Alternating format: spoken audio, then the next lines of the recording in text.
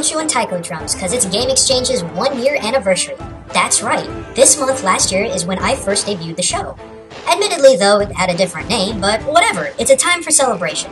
And what better way to celebrate than talk about the one game that gets the most requests, oh, Okami. And when I say it gets the most requests, I mean it. I've gotten more requests to culturally analyze this game than any others by a landslide. During my research, I discovered that there was just too much stuff to talk about, and none of it I wanted to leave out. So to celebrate, I'm doing a huge Okami marathon as asked for by you, my loving audience. Now, first of all, I need to give credit where credit is due. OkamiWikia.com and OkamiWorld.com have both covered much of the culture that I'm going to talk about, so I want to make it very clear that the information is out there. I'm just tacking on some other information that I found in my research. So then, where do we begin? Well, how about the title? Yeah, even the title itself has some interesting meaning behind it. The word okami by itself can mean two things one being wolf, and the other being, quote, honorable god. Seeing as how we're playing as the greatest and most honored god in all Shintoism, who is incarnating a wolf, I think the title is spot on and somewhat witty. Now let's talk a bit about the main characters and concepts, particularly Amaterasu, Susanoo, Kushi, Orochi, and the Great Blade Tsukuyomi, starting with Amaterasu.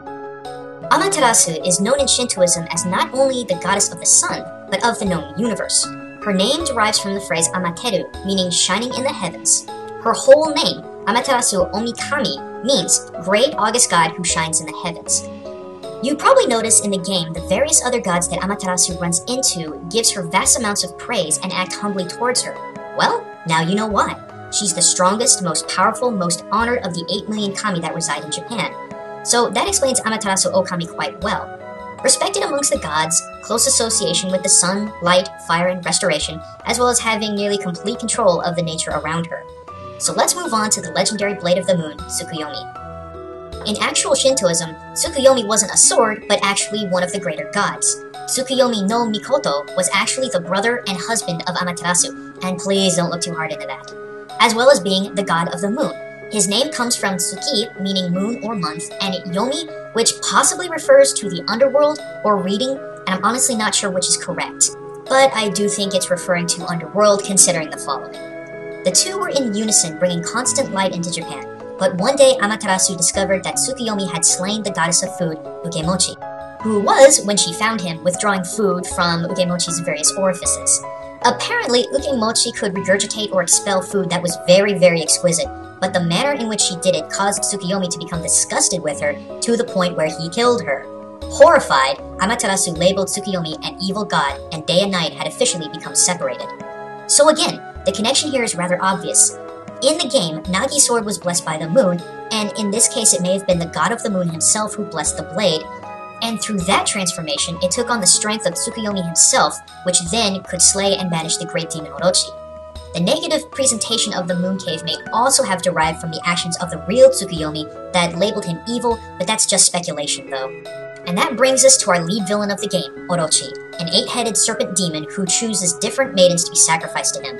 Orochi's full name is Yamata no Orochi, and even in the game he is named as such when you first encounter him. The breakdown of his name has several meanings and have been debated for some time now. His name could mean Great Snake, Peak God, or Tailed God, and so on. It all depends on how you interpret the names into its various kanji. Like the Orochi of the game, Yamata no Orochi was a demon god of eight heads and eight tails, though there was no record of the legends of Orochi possessing elemental abilities. There's also a lot of speculation that Orochi was actually inspired from the tale of the trial of Hercules when he slayed the Hydra, or the other way around. I also like to think that King Ghidorah himself was born from the concept of Orochi, but that's just wishful thinking on my part. The other thing to keep in mind too is that this isn't the only time we've ever seen Yamata no Orochi in video games. Any fans of Dynasty Warriors or Samurai Warriors knows what I'm talking about. The Orochi Warriors games, and they would be spot on. The eight-headed beast that can only be defeated by recruiting people through the space-time continuum is the same Orochi. Amazing how that all works, huh?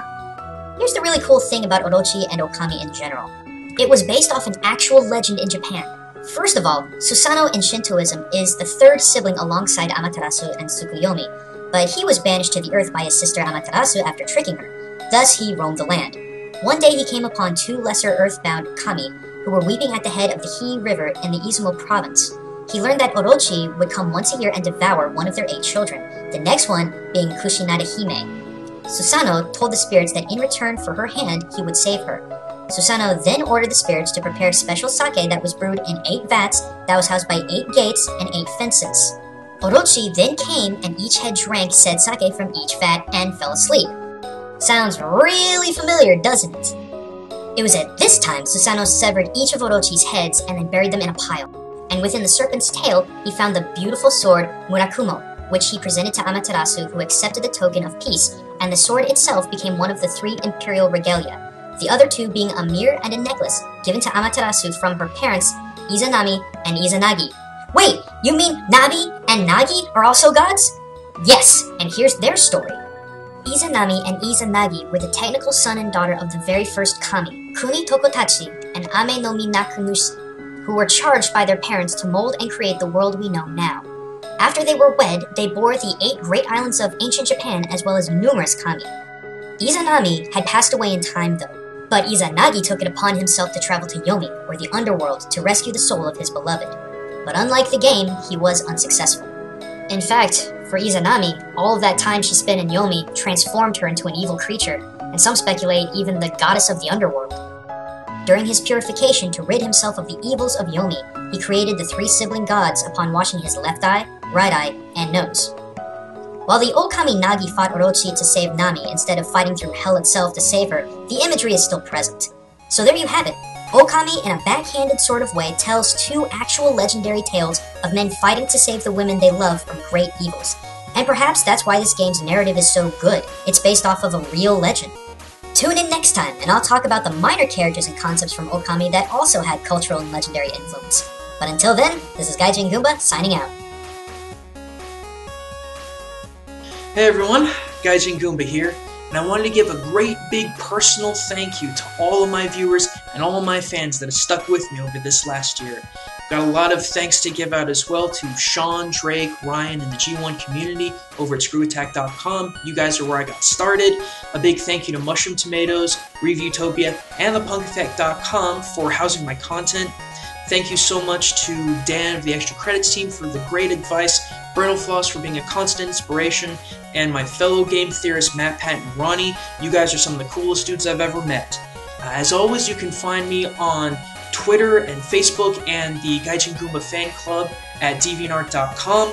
And if you like my content, please, please check out Ronnie and Matt Pat's as well. Digressing and side questing and game theory. It's really cool stuff. You'll learn a lot and you'll have a lot of fun. But until next time, this is Gaijin Goomba signing out.